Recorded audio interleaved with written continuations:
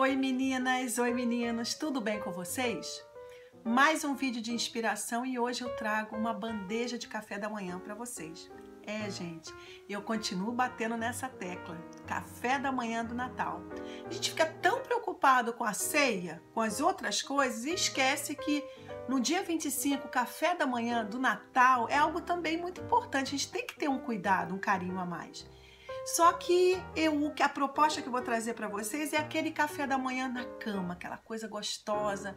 Passou o Natal na casa de alguém, na família, e chegou em casa está morrendo de cansada, não quer levantar para fazer muita coisa. Então, você já pode deixar essa bandejinha já semi-pronta em cima da pia ou numa mesa no dia anterior, no dia 24, antes de sair para ceia. É. E depois você só colocar o biscoitinho, o pãozinho, e é uma coisa tão gostosa. Eu adoro quando eu ganho café da manhã na cama. Quando os meninos eram pequenos, eles traziam para o dia das mães ou meu aniversário, e é sempre um mimo, é sempre tão gostoso, não é? E quando meu marido faz aniversário, eu sempre levo uma bandeja de café da manhã na cama para ele. Eu acho que é muito carinhoso, uma atenção especial. Então vamos lá, vamos ver aqui comigo como eu montei essa bandeja. Simples, fácil, com tudo que você tem aí em casa, eu garanto. Então essa bandeja eu montei com tudo que eu já tinha em casa, nada precisei comprar. Essa bandeja aqui eu tinha ganho de uma amiga, minha vizinha, é uma bandeja de prata, bem simples, mas eu acho ela linda, tá? Eu coloquei, esse, na verdade isso aqui é até mesmo um jogo americano. Beijinho Sandra, eu ganhei da Sandra. Então, é o que que eu fiz? Eu coloquei um potinho, que não tinha pãozinho aqui. O ideal é você colocar na bandeja de café da manhã, que você vai tomar, comer na cama, seria é, você não colocar aquele pão, tipo pãozinho de sal, colocar um brioche, colocar um pãozinho de leite, um pãozinho mais é, molinho e que não faça muita sujeira, tá? Então aqui eu separei para colocar um pãozinho, ou você fazer uma, uma tigelinha de frutas.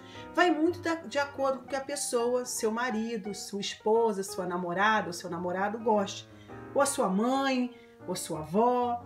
Aí eu separei aqui um cantinho que você pode colocar também biscoitinhos, torradinhas, é, uma taça, você também usa a taça que você quiser. Eu quis colocar transparente porque é Natal, né? Eu queria deixar o foco no guardanapo.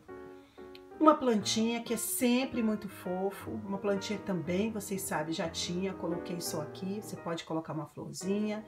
Eu não gosto de flores de manhã, porque tem gente que você pode ter alergia, acorda de manhã e sentir algum cheiro, sabe? Algum perfume. É chato. Então, eu coloquei uma plantinha. Essa é natural, você pode colocar uma artificial também. Aí eu separei geleia, que eu prefiro assim. Então, você usa a porção acabou, acabou. Chá, se a pessoa tomar chá, senão você já coloca aqui o copo de, de café com leite, o cappuccino. Deixei aqui um potinho com bombom esses bombons eu adoro, que é da Lindt. É, eu adoro esses bombons. Então, o açúcar, então o café, o chá, já deixei o açúcar quadradinho aqui do lado.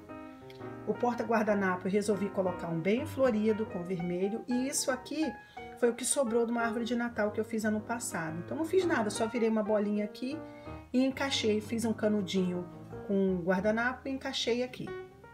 Nada de muito elaborado, mas com muito carinho. Então é você disponibilizar todas as coisas assim, os potinhos, bem arrumadinho, de uma forma bem harmoniosa, tá? Eu coloquei aqui uma pazinha para passar manteiga, justamente porque o que eu colocaria aqui seria torradinhas ou aqueles pães molinhos que eu falei, ou vice-versa, colocar aqui os pãezinhos, torradinhas e aqui uma fruta. Então eu deixei um garfinho aqui para fruta, para as frutas, né? Independente qual é a fruta que você vai colocar, tem que ser já picadinha, lavada, já tudo pronto. E um garfinho e uma faquinha para passar, ou a manteiga ou a geleia. Então eu sei, por exemplo, se fosse o meu marido aqui, eu teria eu, eu colocaria manteiguinha ali do lado. Eu estou fazendo aquilo que eu gosto. Geleia. Colocaria um chá, que eu gosto também de chá de manhã. Gosto de café, mas se eu fosse tomar na cama assim que eu acordasse, eu gostaria de um chazinho ao invés de um café com leite. Tá? Então você pode caprichar na bandeja de café da manhã do Natal. Sabe aquele você chegou cansado, eu já falei, chega cansado, no, no dia 24 o Natal foi maravilhoso, a noite de Natal, então no dia 25 você quer uma coisa mais tranquila. Então é muito gostoso poder ganhar ou tomar dois também. Eu fiz aqui de uma, mas você pode também fazer uma bandeja grande e fazer porções para dois, para tomar um café gostoso com o seu marido. É tão bom, gente. Ou entregar para seu pai, para sua mãe, levar, já que teve aquela noite de Natal. Foi tão gostosa, sua mãe trabalhou muito, então no outro dia nada mais gostoso que acordá-la com uma deliciosa bandeja de café da manhã para ela e para o seu pai.